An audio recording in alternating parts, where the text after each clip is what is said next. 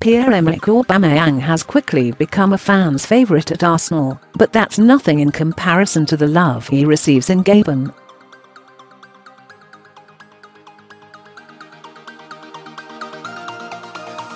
The striker, who has 22 goals and 39 games for the Gunners this season, got a hero's welcome as he touched down in the city of Libreville on Wednesday night.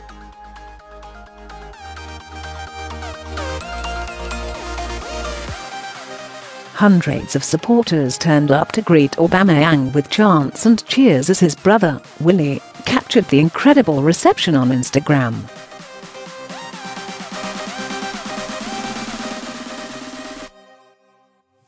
Aubameyang for Gabon caps.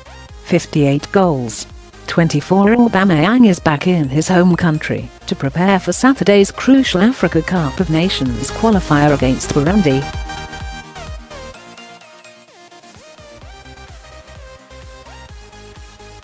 And Gabon's fans made sure to give him all the motivation he needs to fire them to victory with the warmest of welcomes at what appeared to be the city's airport.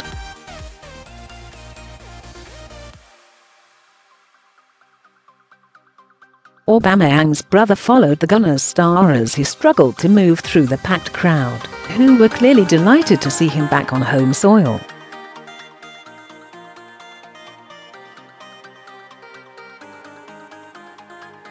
It will have come as a relief to some fans, given the recent doubts over the former Borussia Dortmund forward's international commitment.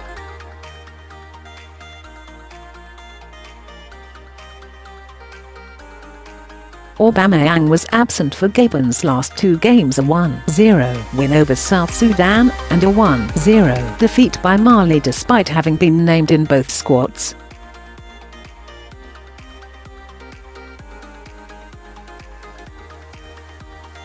No official reason was given for him missing the clash with South Sudan, although some reports suggested he was unhappy with the plane Gabon had charted for the journey.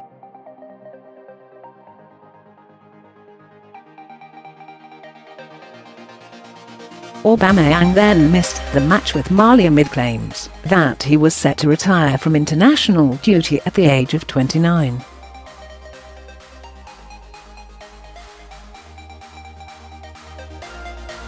However, manager Daniel Cousin dismissed those fears last week, telling the Gabonese news agency, Pierre is indeed summoned.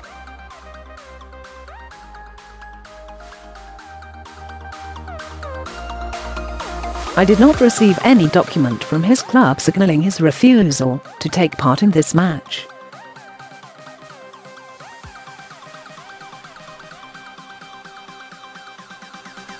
He knows what I think and expect of him. The pressure will be firmly on Aubameyang's shoulders on Saturday with Gabon needing a win to progress to this year's Africa Cup of Nations.